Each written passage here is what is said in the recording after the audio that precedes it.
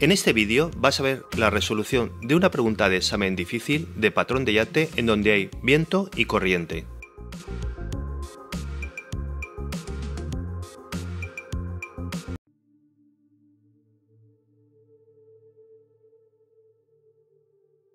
Para resolver con éxito este tipo de problemas te recomiendo que, primero, antes de empezar la resolución del problema, dibujes en tu folio de examen el triángulo de corrientes con sus tres vectores y sus nombres. Segundo, cuando en los problemas hay viento, deberás de entender si hay que variar el rumbo para compensar el abatimiento que produce el viento al barco o no hay que variar el rumbo. Es decir, debes de saber si vas a modificar el rumbo que lleva al barco o no. Y esto lo puedes deducir si lees despacio y bien el enunciado. Fíjate en esta pregunta de examen de Valencia. En este enunciado el detalle importante es cuando dicen en la quinta línea calcular el rumbo de aguja al que deberemos gobernar. Y esto quiere decir que hagas lo que hagas, tu barco deberá llegar a la luz verde del puerto de Tánger. Y esto solo lo puedes hacer corrigiendo el rumbo en función del abatimiento que te produce el viento. Es decir, la proa del barco apuntará más al viento, es decir, corregir a barlovento y así aparecer en donde quieres llegar. Ahora te debes de fijar en esta otra pregunta de examen que también hay viento de Ibiza. Cuando lees al principio que ahora reloj bitácora 9 horas zarpamos del puerto de Algeciras, Navegamos al rumbo de aguja 170 y velocidad 6 nudos, y hay viento de levante que nos abate 5 grados. Esto quiere decir que en este barco son conscientes que el viento les está empujando de su trayectoria marcada por su proa, con el rumbo de aguja de 170 grados, y van a aparecer más a sotavento de donde querían llegar, es decir, que en este barco no van a modificar el rumbo que llevan.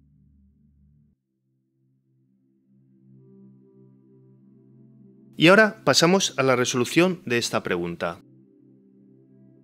Primero debes de situar el barco a hora reloj bitácora 9 horas. Y te dicen que está saliendo del puerto de Algeciras y ese punto está indicado por FL, que significa luz de destellos R, luz roja.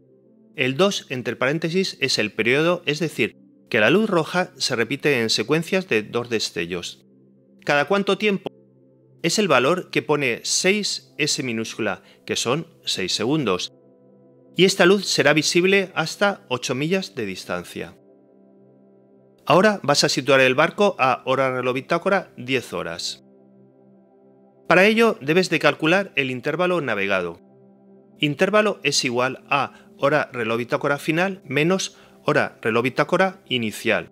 Es igual a 10 menos 9 es igual a un intervalo de una hora. La distancia recorrida en este intervalo la calculamos con la fórmula velocidad es igual a distancia recorrida dividido entre el intervalo empleado. Despejas la distancia recorrida que es igual a la velocidad por el intervalo empleado igual a 6 por 1 igual a 6 millas. Durante el intervalo de una hora, el viento ha desplazado el barco y le hace seguir una derrota real distinta de su rumbo verdadero, que se denomina rumbo de superficie, y esta trayectoria coincide con su rumbo sobre el fondo del mar. El rumbo de superficie es igual al rumbo verdadero más el abatimiento, con el convenio de signos de abatimiento positivo si el barco se desplaza a estribor o abatimiento negativo si el viento desplaza el barco a babor. Conviertes el rumbo de aguja dado en el enunciado en rumbo verdadero Rumbo verdadero es igual a rumbo de aguja más la corrección total, igual a 170 más menos 11 es igual a 159 grados. Recuerda ahora esta frase, los vientos vienen y las corrientes van. Un viento de levante viene del este. Si el barco se mueve según su proa apuntando al 159, el viento le empuja hacia su estribor y esto quiere decir que el abatimiento será positivo. Rumbo de superficie es igual a rumbo verdadero más el abatimiento, igual a 159 grados, más 5 grados igual a 164 grados. Este rumbo de superficie es el que va a hacer realmente el barco y lo debes de trazar en la carta náutica y con una distancia recorrida de 6 millas. Ahora pasas a situar el barco a hora reloj bitácora 11 horas. Debes de leer bien el enunciado. A las horas reloj bitácora 11 horas te dicen que calculamos rumbo para llegar a la bocana del puerto de Ceuta. Pero desde las 10 horas a las 11 horas no te dicen nada que el barco cambie el rumbo de superficie que está haciendo hasta ese momento. Solo te dicen que el barco entre las 10 horas y las 11 horas sabe que navega en una zona de corriente. Entonces, entre las 10 y las 11 horas, el barco navega afectado por un viento y una corriente. Ahora debes de trazar el triángulo de corrientes. Trazas el rumbo de corriente e intensidad horaria desde la situación del barco a hora reloj bitácora 10 horas. Desde el extremo del rumbo de corriente trazado y no desde nuestra situación inicial, debes de trazar el rumbo de superficie porque hay viento o trazarías el rumbo verdadero si no hubiera viento. Su tamaño será en una hora, es decir, en 6 nudos, que es la velocidad de máquinas o velocidad que desarrolla el barco. Unes con una línea recta desde hora reloj bitácora 10 horas hasta el extremo del vector rumbo de superficie, que será el vector rumbo efectivo. Y su intensidad es la velocidad efectiva. Ya tienes cerrado el triángulo de corrientes. Exactamente en el extremo del vector rumbo de superficie se encuentra la situación del barco a hora reloj bitácora 11 horas. ¿Te interesa conocer el rumbo efectivo y la velocidad efectiva? No te interesa, solo te interesa conocer dónde se encuentra el barco a hora reloj bitácora 11 horas y es lo que te piden. Llevas la situación del barco a las 11 horas a la escala de las latitudes y puedes leer que latitud es igual a 35 grados 57,4 minutos norte. Y ahora llevas la situación a la escala de las longitudes y lees que longitud es igual a 5 grados 16,5 minutos oeste. Pasamos al cálculo del rumbo para llegar a la bocana del puerto de Ceuta desde la hora reloj bitácora 11 horas. Recuerda que desde donde sale el barco debes de trazar el rumbo de corriente e intensidad horaria de la corriente. Es decir, desde la situación a hora reloj bitácora 11 horas, trazas un rumbo de corriente de 90 grados y una intensidad horaria de corriente de 4 nudos.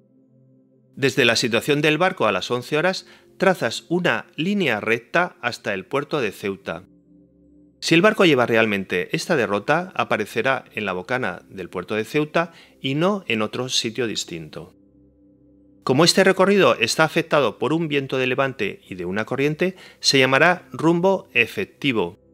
Pero este dato no te lo piden calcular.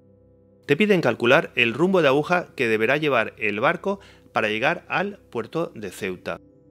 Y este rumbo lo vas a conseguir con el dato del rumbo de superficie que aún no lo tienes trazado en la carta náutica.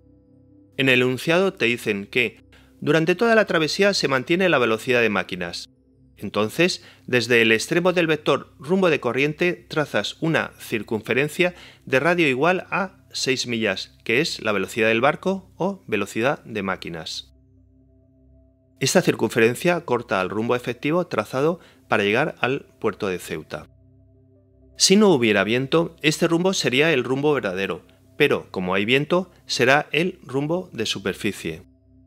Colocas un transportador de ángulos con centro en el extremo del vector rumbo de corriente y puedes leer que el rumbo de superficie es igual al 242 grados. Como rumbo de superficie es igual a rumbo verdadero más el abatimiento, Despejas el rumbo verdadero y obtienes que rumbo verdadero es igual a rumbo de superficie menos el abatimiento igual a 242 grados menos más 6 grados es igual a 242 grados menos 6 grados igual al rumbo verdadero de 236 grados. Como rumbo verdadero es igual a rumbo de aguja más la corrección total, despejas el rumbo de aguja y obtienes que el rumbo de aguja es igual al rumbo verdadero menos la corrección total, igual a 236 grados menos menos 11 es igual a 236 grados más 11 grados, igual a un rumbo de aguja de 247 grados. La respuesta correcta es la Charlie. Espero que hayas encontrado interesante y útil este vídeo para probar fácilmente tu examen de patrón de yate. Apúntate a nuestro curso de patrón de yate, un curso muy completo y didáctico y con un precio muy reducido y te será fácil conseguir tu título de patrón de yate. Te agradezco si haces clic en me gusta y si dejas algún comentario. Suscríbete a mi canal y así sabrás cuando suba nuevos vídeos y me ayudarás en la difusión de estos contenidos. Saludos y hasta pronto.